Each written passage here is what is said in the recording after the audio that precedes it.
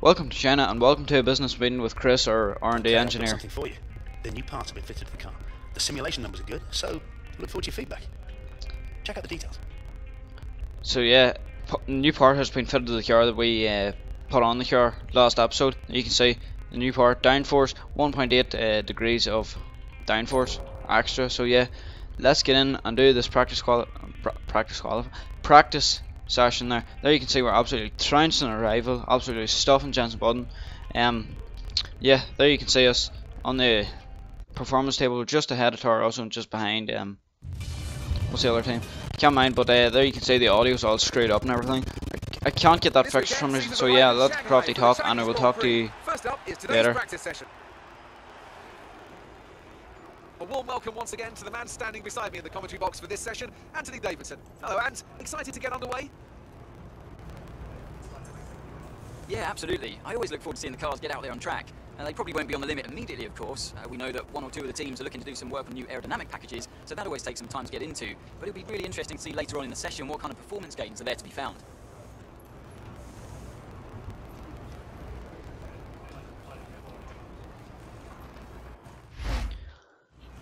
So yeah, here we are in the in the garage of the McLaren pit. So thank you, Chris. So we're going to do the track acclimatization program on the the tower the tower test in this video or in this practice session. So there, come run to the line. There you can see almost perfect lap. That's fantastic. Four um, green, which is pretty good. Come run to the line. Another lap with about six greens, I think. There, run to the line. Open DRS. Run to the line. Another purple lap time. So pretty good then. So um yeah, third lap. Come to the final corner, hitting all them. Purple final corner. Open the DRS, purple. Run to the line, and it's another purple score there. You can see we 480 or 485 out of. I can't see it, but uh, I think it's 405 out of 480. 425, so we missed out on 25 points there, which is pretty good. So, yeah, let's do the tire management test and uh, see how we get on.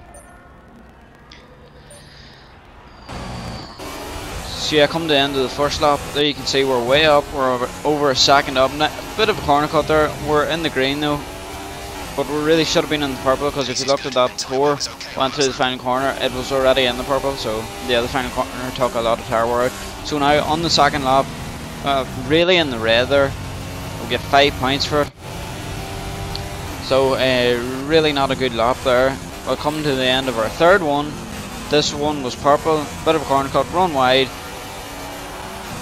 Lovely track extension in the purple. So now it's 30, so we only need another 5 points. So yeah, come to the final corner on the final lap of the track or the tire wear test. We get a green sector, which means we passed it by 5 points. 40 out of 60. So yeah, now let's return to the garage and uh, see how it is.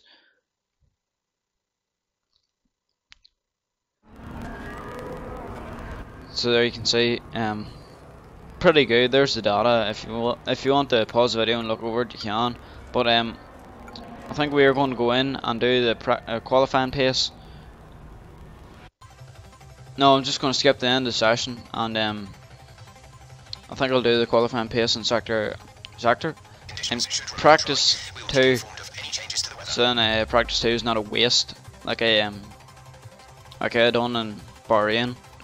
Just done everything practice one and then just skip the qualifying. So there you go, eighth place at the end of uh, practice one. Only doing the track track acclimatization and the tower test, so re really not as fast as we can go. Like so, there you can see our resource points. Ow, just hit my hand off my desk. There you can see resource points, 173. So yeah, let's go to practice two and do the tower word, qualify and run. Jesus, I'm getting my, my words mixed up. So yeah, once we do, do this here, we'll probably end the session and skip the qualifying. So yeah, come to the end of the lap, bit of corner cut there, bit of an extension, lose the back end though, and we come across the line and um, do 142 dead I think. So yeah, pretty good lap. So now I think we'll just skip the end of the session and end it there. Because it's basically nothing to do because we've done it there. We've got a perfect score, which is pretty good. So now we'll just watch Jenson Button for a while. And then we will skip the end of the session, see watch the watch the telemetry and all. So yeah, 20 minutes to go. Um, Nico Rosberg set a time 43, 42.3, which is uh, three tenths lower than our lap time. We done a 40 dead, which 42 dead, which is pretty good lap time, if I do say so myself. I don't think it could get more out of the car if it side without crashing. So you can see Rosberg, Raikkonen, and Kvyat top, and Sainz top five. So you can see with five minutes go, we are topping the session. So now, um, there you can see Rosberg purple second sector as uh, Grosjean has pop, popped up to fourth place. Purple sec first, us second. At the end of the session, then here are your top three: a McLaren, Rosberg, and Kimi Raikkonen. That's it for practice. Then we'll see you again soon. Yeah, thanks Crofty for that there. So now we will go in, or we will go over our resource points, and um, you can see, so pretty good all-round session for us, are for me, like. So yeah, let's get in and skip straight to qualifying.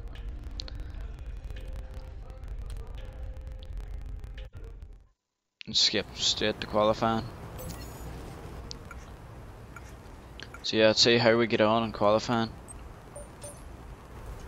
An interesting practice session there then. So you can see Rosberg, Raikkonen and Hamilton top three, which is um, almost standard.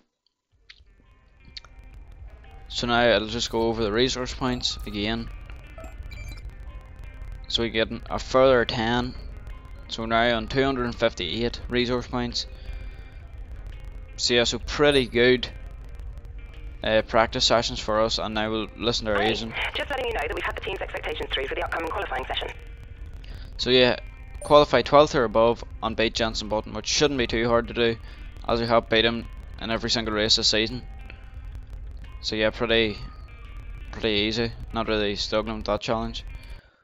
So you can see we're absolutely trouncing them there, 27 to 9. And now let's get into the crucial qualifying session for the Chinese Grand Prix.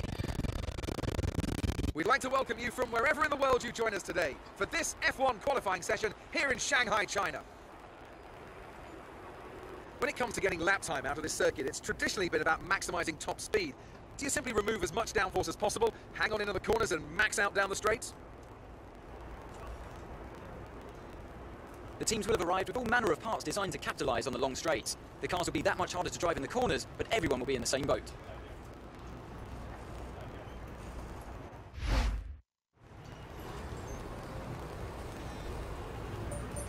Yeah, so now here we are in the garage for for qualifying. We go straight out on the track and see what sort of lap time we do. So we skip right on the end of the lap time. Massive, massive, massive corner cut there, massive extension, and they come up to the line and we do we do 42 0 I think it is. But uh, yeah, there's still time to find it as you can see there. There we go, come to the line, we do a 41 3 I think it is. So yeah, I, I think we'll retire on that note because we lost too much time. So yeah, now I think we'll just skip on to the race as we've done our qualifying and uh, we're up in fourth at the minute, which is quite good for McLaren, which is excellent in fact for McLaren. for the race tomorrow. But So we qualify let's quickly remind 11th, ourselves of our top just outside the top 10, which is uh, uh which is okay. We still passed the team objective, which was 13th.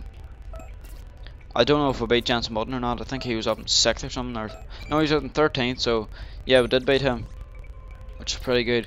There you can see we've we have won a rivalry. So yeah, so there we go. Won the won the rivalry. So now we'll now the team will um give us a new rival. Oh no, we didn't beat him. So yeah, our position's very secure. So now let's listen to the voicemail for our race targets. Hi, Emma here. Just wanted to let you know what the team are hoping for in the race. Um, finished 12th or above and beat Jenson Button. Also finished 10th for the for the constructors ob objective. So yeah, let's go to the race then.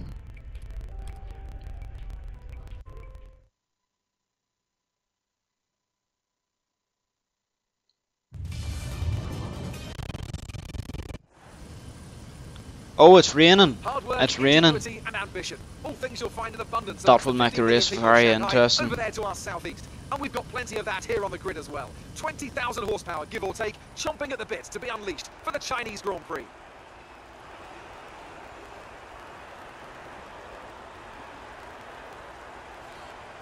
Shanghai International Circuit then, a 16-corner high-speed thrill ride. The long and ever-tightening right-hander at turns 1 and 2 tests a driver's patience, and the flat, open to the elements location, tests their skill in a crosswind. Two DRS zones will assist passing, and overtaking is available into turn 1, and of course down the kilometre-long back straight into the hairpin at turn 14.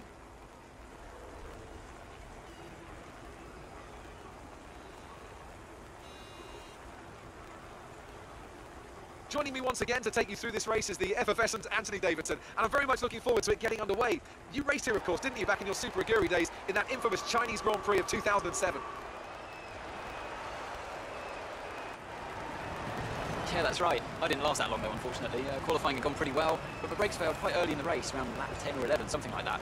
And of course, back in 2004, I was the very first Formula 1 driver to complete a lap at this circuit. Just thought I'd mention that for you properly, like a good stat. Uh, it's a fairly tough circuit on the brakes here though, you know, there's that long back straight down into turn 14, and then you've got turn 6 and 11. They're quite heavy as well. On top of that, managing your front tyre wear is always a challenge around here, so there's a lot to keep in mind during the Grand Prix.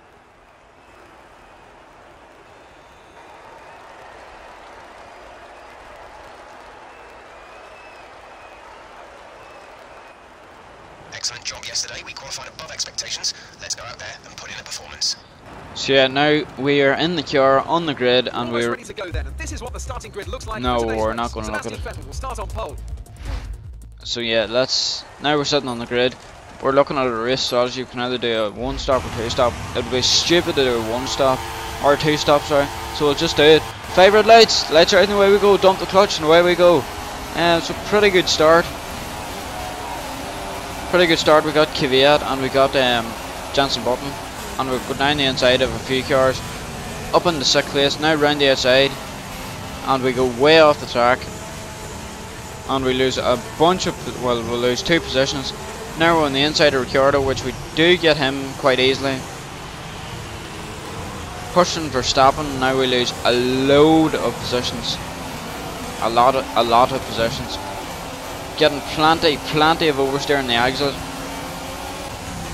so now on the middle sector in lap 1 we just simply outdrive Verstappen outbreak him, into um, turn whatever it is, I don't know, but middle sector. So now we get past him up in the sixth place, and now Sainz is ahead of us. We get him on the into the braking zone. As you can see, he locked up as well, which is um, we get him up in the fifth position, which McLaren shouldn't be there, but we are there. So now on the end of lap two, we run wide, get so much oversteer, and um, yeah, couldn't get on the power on now um, Sainz and uh, another car is trying to get us. It is Verstappen, but we we go down round his outside, but we do go off and Sainz as well. We do touch side pods with him, which uh, forces off the track, and we lose a heap of time side by side with Jenson Button. Eric Boullier won't like that there. We, we made contact. So yeah, now we pick up the throttle now. Very late, or very uh, yeah, huge oversteer. Will we get a uh, Bottas in the braking zone? We brake nice and late. We don't make contact. Pretty nice overtake. Get on the throttle nice and early. Get plenty wheel spin. Run him out of the road. And yeah, job done. So now on lap 4. Um, will we get Sainz into turn 5 I think it is. Yes we do. We dive it down to the side. And um, job done basically. So yeah, getting the power nice and early, squeeze him out of the road, and job done. So now getting loads of oversteer, loads of oversteer in this hateful, hateful corner, which is so hard to get in the throttle. Still struggling, we go way off, and Verstappen gets past us, and now um, Sainz flies past us as well, and I think it's a Williams, no it's uh, Ricciardo. And uh, we dive down his inside, and do we make a triple overtake into the we make a triple overtake into the chicane, which yeah, was pretty good. We get a lot of wheel spin, which sends us way wide, and then Massa hit, uh, Bottas hits us for good measure, which sends us. Over. This was this must have been a glitch here. You see the virtual safety car came out. The AI just slowed way down, just stopped, and I overtook Kvyat. Jenson is coming to the pits. Which, uh. I don't know, that might have been a glitch or something, but um, virtual safety car is ending. VSC ending. Wait for green. We go up the inside of Verstappen just as it ends, so we had to return the position. But we do get him, we outdrive him. We get very, very close to touching. I know he's there, that's why we run way off, way wide, and then get back under this in line, and uh, yeah, job done. So now on the back of Sainz and lap 7, halfway through this race already, it's getting, it's very exciting. So getting a lot of a lot of oversteer. That was the problem in this race. A lot of oversteer. Dive down his inside into the her into turn five. Yeah, and we do. There you can see his amp plate very very close to us. But uh, yeah, quite nice overtake even if I do say so myself. So now on lap eight, getting understeer, oversteer. Sorry, oversteer again. More oversteer. More oversteer. We had to wait and wait and wait and wait and wait. And couldn't get on the throttle. So um, yeah, Sainz flies past us. I think there's a Ricciardo as well. I think. But we get Sainz into the braking zone. We out we outbroke ourselves. But um, Sainz gets past us. So does Verstappen. And now um, Ricciardo's on the back of us as well. So yeah, we lose a heap of time into the hairpin as we outbreak ourselves and a couple of positions. Nice corner cut there around. Um, so yeah, now Sainz is ahead of us. Um, we're in the slipstream. of. Can we get him into turn one? No, we don't. We stay behind him. But do we go up his inside because they are very slow in the second part of this year? Yes, we do. So yeah, now that's done. Now it's Verstappen ahead of us for P6. And um, I don't know if you can see it on screen, but I think it's stop, uh, stopping, stop, stopping raining. I can't speak tonight or today. As you can see, there more oversteer, a bit more oversteer. But uh, will we get for stopping Verstappen into turn five again? Turn five is a favoured uh, overtaking spot for us, just outbreaking the AI. Nice move. Um, yeah, I think it is stopping. Yeah, there you, there you can hear from the engineer the track is drying out. The rain has stopped.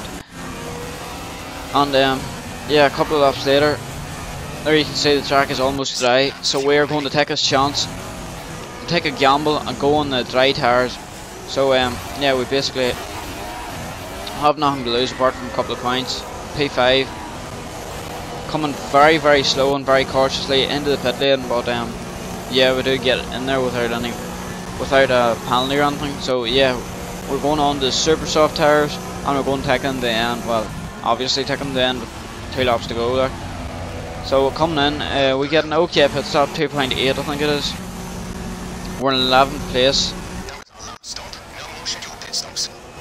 Coming out and getting squirming on the exit there, trying to get in the power. As you can see, Ericsson is behind us. We, we um take we put our fuel up the ridge, we run wide, and Ericsson gets us up the inside, but we get him down the inside, hitting him, hitting him for good measure as well. Now you can see as I look behind me, two Saubers, two Saubers are battling. If I do look behind me, yeah, I do. Two Saubers are battling. Now we have Esteban Gutierrez on the last lap for one point in this Grand Prix. So we went from P5 to P11, maybe to P10. As we dive it up his inside, break at the 150 meter board, don't overshoot the exit, or don't overshoot the corner, sorry. And um, yeah, that's P10 then. So yeah, coming round the final corner, and we finished P10. So we lost um, I think it was 10 points. We only gain one point, or we only get one point in this Grand Prix. We don't actually, we finished 11th. Well, how's that possible? I finished 10th. There's Toto Wolff celebrating. for the Mercedes team today. How's that possible? I finished in, I finished inside the top 11 apart or top 10, sorry. Well, we'll see now in the race director deck. You can tell they've So- done a lot of work on the pit wall to really optimise each stint. and get Yeah, we'll out of the find out. Highlights just how much of team sport this really is. Um, but credit to the driver as well, though. There's no good having a well-oiled machine behind the scenes without a talented hand on the wheel, of course.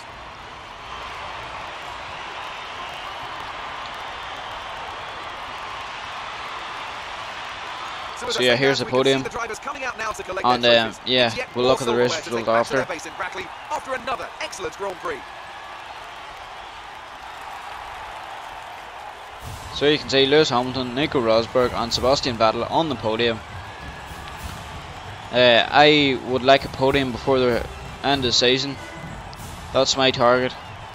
It may be a bit ambitious, but I don't know. But it would be, seem like a fair enough target. So yeah, let's look at the race director, or not race director. here's how things look in the Oh, got a penalty, that's why. Two second time penalty. further ahead at the top of the table. Moving on Don't know what that's for, but, um, Anthony Davidson, who would you go for? Well, after a drive like that, it's Well, finish where we're qualified. Very clean, very smooth. He can be really pleased with that one. It was a And now let's pretty take a look good race up until uh, standings. Mercedes have extended their lead at the I had to pit.